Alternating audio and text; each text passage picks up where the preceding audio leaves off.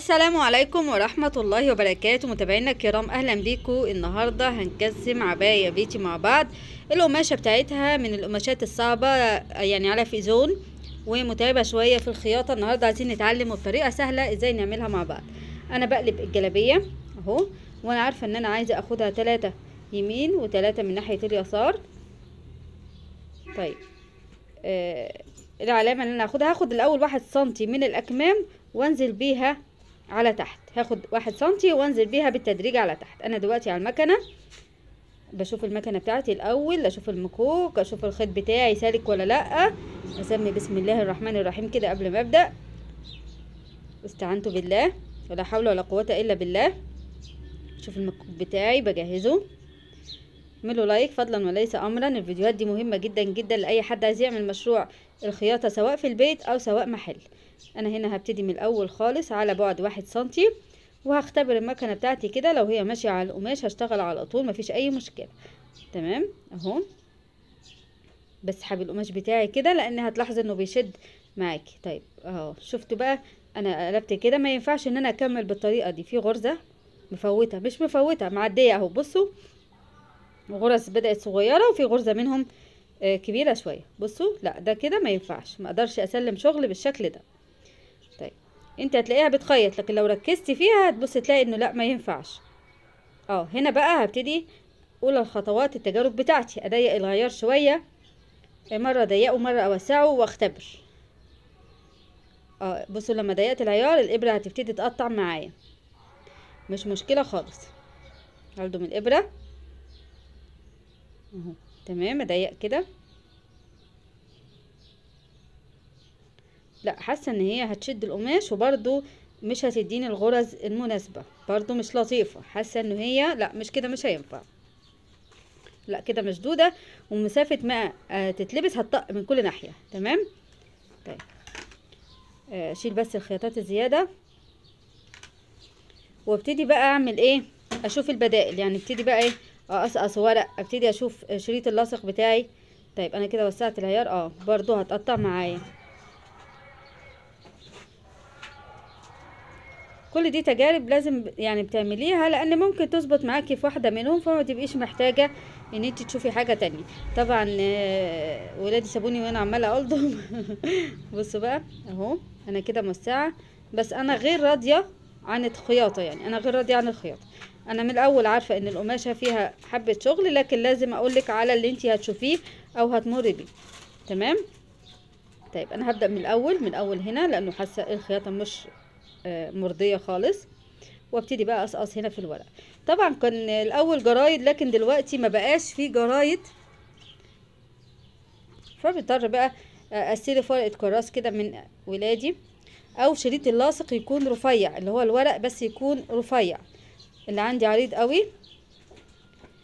بصوا أنا هبتدي بقى أخيط. هنا هتظبط معاكي مية في المية. وهتديكي خياطة مريحة وجميلة. وبعدين تشيل الورق مفهوش أي مشكلة. لما تشيل الورق مش هتفك الخياطة منك ولا حاجة. ودي يعني هقول طريقة مش جديدة. دي طريقة قديمة جدا جدا بقالها عشرات السنين. أمهاتنا وجداتنا كانوا بيتبعوها في الخياطة لأن المكن آه كان سنجر فما كانش بيمر على الاقمشة دي تمام؟ هتقولي لي يا أم عبد الرحمن في مرة قلتي إن الخياطة أو المكنة الصناعي بتمر في كل الأقمشة آه ده صحيح بتمر في كل الأقمشة بس برضو لازم يكون عندك تنوع إبر يعني يكون عندك آه كذا نوع إبرة. القماش اللي من النوع ده بيحتاج إبرة رفيعة شوية وأنا مش عندي دلوقتي. يعني أنا بستخدم رقم أربعتاشر آه ما بغيرهاش غير كل كام شهر بصراحة لما بتتكسر أو تتعوج تمام؟ خلاص خيطت الجنب.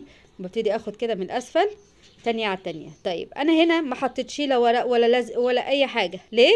لأنه من تحت متنية فلما بتنيها تاني القماش بيكون تقيل فبيمر بسهولة جدا جدا جدا. أهو. خدي بالك وانت بتكسمي بتنزلي اتنين سنتي وبتنزلي على ما فيش على ما فيش ما بتنزليش لآخر العباية عشان ما تضيقيش العباية من تحت. في الخطوات تبقى متعبة. لا أنا ما باجيش ناحية الخطوات خالص وبنزل بالتدريج على ما فيش تمام؟ هنا بعمل بنسة عشان أرفع بيها الكم لأن الكم مش حاسس يعني مش حاسة إنه محتاج أكتر من آه اتنين سنتي ودول ممكن يجوا في البنسة. أهو. هتقطع لأني ما استخدمتش لا ورقة ولا شريط لاصق تمام؟ يبقى ده كده استخدامنا للورق. بقصه بالشكل ده اللي حضراتكم شايفينه وأفضل أقطع منه وأنا محتاجة منه كده على المكنة. طيب عندي اسدال فيزون اسدال فيزون الاسدال متعب جدا الاسدال الاسود ده نفس النتيجة ونفس المتاعب هتمر بيها. طيب الأول أنا باخد القياس بتاعي شايفين الفيزون أنا باخد القياس بتاعي بخلي الاسدال على وشه ضروري جدا. أهو. وهضطر إيه؟ عايزة منه حوالي خمسة سنتي خمسة سنتي. لو لاحظتي هنا بصوا تانيينها تانية المصنع تانية سيئة جدا جدا ومعوجة جدا جدا. بصوا سيئة جدا. طيب أنا محتاجة هنا المسافة دي. لو أنا شلت الشريط المعوج ده هبقى محتاجة أربعة سنتي أهو. ولو أنا قست من أول الشريط هيبقى خمسة سنتي لأن ده متني حوالي سنتي. أهو. بالشكل ده هيبقى خمسة سنتي. فأنا هقيس على حسبة الخمسة سنتي من أول الإزاز. لازم يكون معايا المارك. لازم أعمل الخطوة دي يا جماعة. أهو الخمسة سنتي بتوعي. وما يعني أرجوكم ممنوع الملل في الموضوع ده بالذات. لازم تمشي على كل الاسدال علشان يديكي قياس مظبوط. الفيزون بيلف على المكنة وممكن تنخدعي في لفته أو ممكن تقولي أصل أنا بقالي فترة بخيط وأنا مش محتاجة للتفاصيل دي. لا واحدة واحدة. حتى الشريط اللي أنا بشيله بشيله من جنب واحد ما بحطش الجنبين على بعض لأن ممكن وأنا بقص الجنبين على بعض ألاقي طرف منهم أكبر من طرف.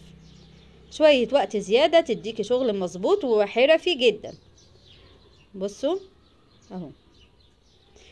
نسينا نعمل like؟ زعلانة منكم جدا. انزلوا اعملوا like الفيديوهات دي مفيدة جدا جدا ومش هتلاقوها بالتفاصيل الم... يعني مش هقول المملة ولكن التفاصيل دي ابدا في أي حتة.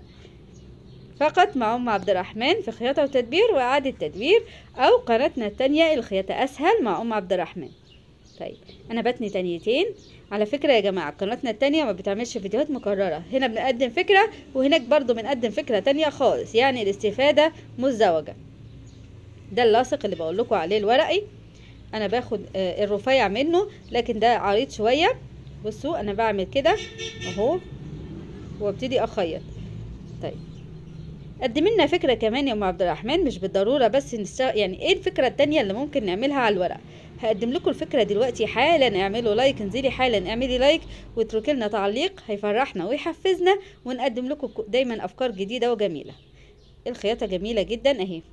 بصوا المهم شايفين علامة المارك معايا؟ هي دي دليلي وأنا ماشية على القماش. طيب.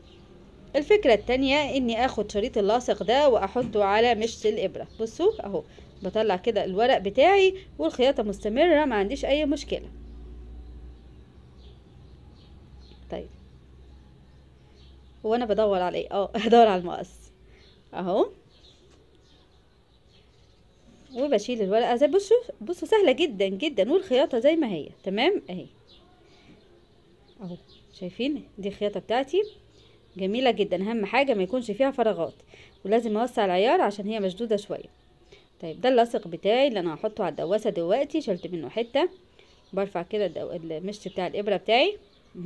ممكن تحطيها على مشط الإبرة وممكن تحطيها على أسنان المكنة يعني. تمام؟ ممكن تحطيها من هنا أو من الأسفل. بس هي لما بتتحط من الأسفل بتطلع مع القماش على طول فكده ممكن تمشي معايا على طول. بصوا أهو. ودليلك زي ما قلتلك المارك اللي انتي حطاه. صلينا على النبي عليه الصلاة والسلام. اللهم صل وسلم وبارك عليك يا رسول الله. بصوا يا جماعة اهي شغالة معاكي زي الفل. مفيش أي مشكلة عندي أهو. هوريكم دلوقتي الخياطة بتاعتي زوم وتشوفوا قد إيه جميلة وما فيهاش أي فراغات. شغلك لازم يكون بالطريقة دي. الفيديوهات دي تعليمية من الدرجة الأولى وهتفيدك جدا جدا جدا. أهو.